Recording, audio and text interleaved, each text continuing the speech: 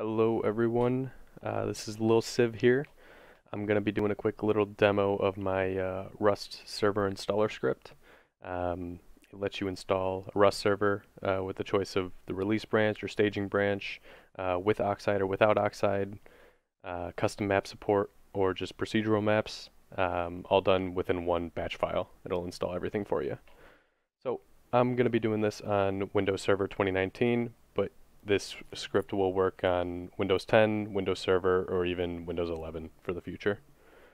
So first things first, we're going to need to go grab the script from GitHub. So I will have this linked in the description.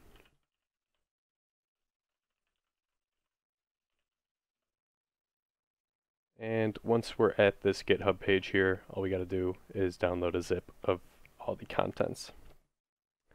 We can open up the zip get out of Chrome and pull this installation over here. So you'll be left with this rust server installer.bat file. All you got to do is run this and the installation basically starts. So it's going to ask you where do you want Steam CMD installed. Um, I'm going to do this as if this is a brand new installation. There's nothing on this machine at all. And I'm going to install everything uh, in folders on the desktop. So as you can see, there's nothing on the desktop right now, but I'm going to put it in a folder here.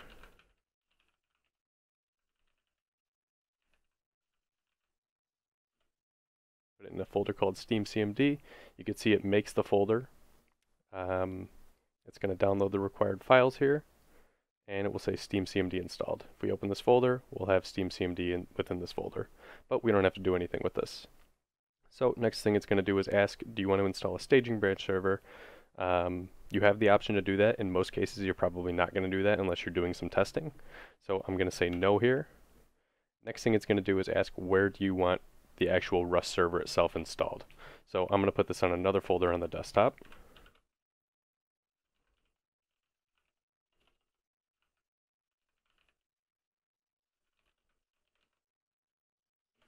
And I'm going to put it in a folder called Rust server. It does support spaces and file names, so that can work.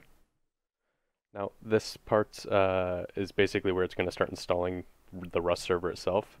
This is going to take a while, um, so I will go ahead and speed this process up.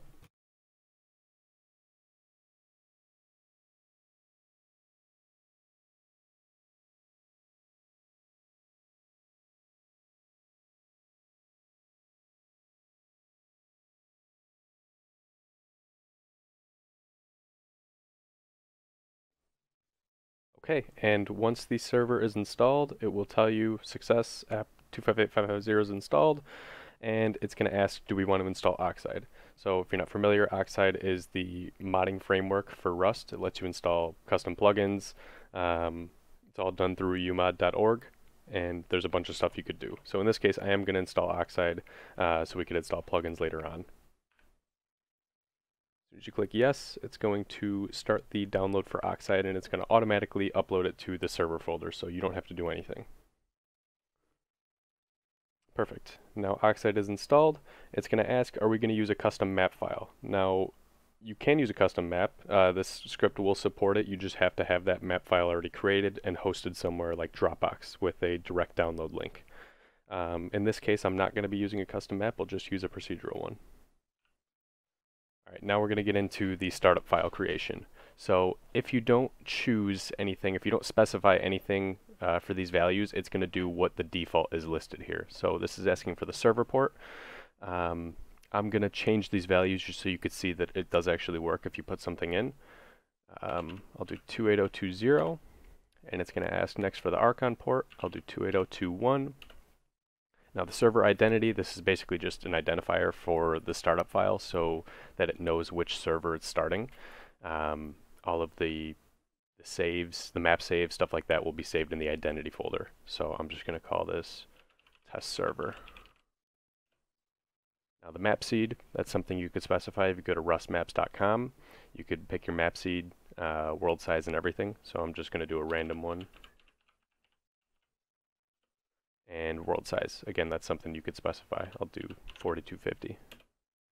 Max players, how many people you want to be able to join your server. By default, it's set to 150. I'll set this to 75. Host name, what the server looks like in the server browser. So in this case, I'll just call it test server.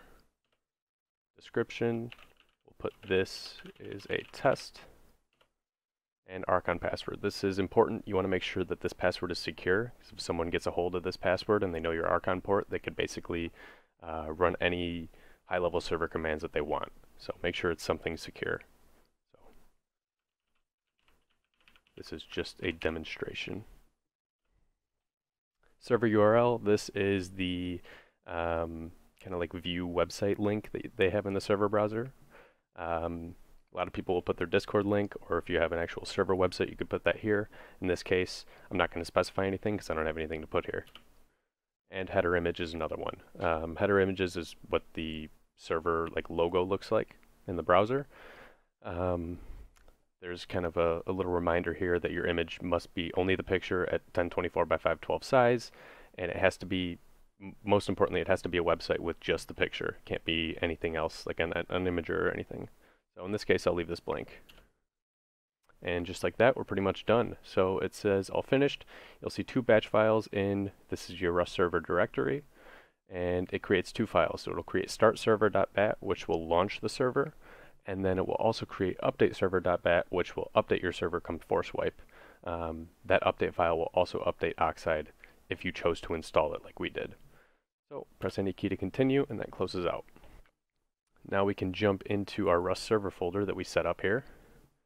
And you will see all of the files are in here. You have startserver.bat and updateserver.bat. So if we take a quick look at startserver.bat, if we just edit it, we could see um, all of those values that we specified, the map seed, the server port, the host name, the description, all of that got passed through here into this file. Then if we take a look at the update server, um, I wouldn't recommend changing anything in here, but this basically just calls Steam CMD, uh, tells it where to install the server, and does an update. And then right after that is done, it will do a curl on uh, Oxide, so that Oxide will get updated. I'll show you just as a demonstration how this works. You don't really need to do this since we just installed the server, but you can see here how this works. It says Rust is already up to date. Press enter, it's going to do an install for Oxide now. It'll download the file. Then it's going to extract it in a second here. And then it deletes the downloaded file. So then Oxide's up to date. And pretty much ready to go. So then all you got to do to start the server is just double click start server.bat. Leave it because on the first setup, uh, it can take a little bit before anything is displayed here. But uh, we'll just kind of let this run through.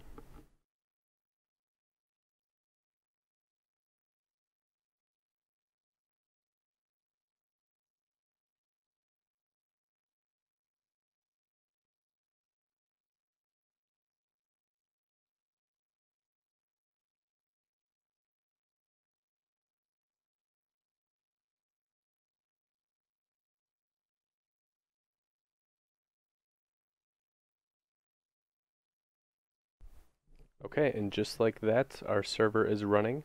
Um, so if you recall, I chose 28020 for the server port, so we could verify that and just make sure it got passed through. And as you can see, server port is 28020. The host name is set to test server. Um, you can check the description. And the description is this is a test because that's what it was set to. So just like that, you have a uh, completely running and working Rust server. Um, the script will continue to be updated as uh, more things come up, but uh, feel free to let me know if you have any questions. You could leave a comment, open a issue on GitHub, or just message me on Discord. My Discord's going to be on that GitHub page. Thanks.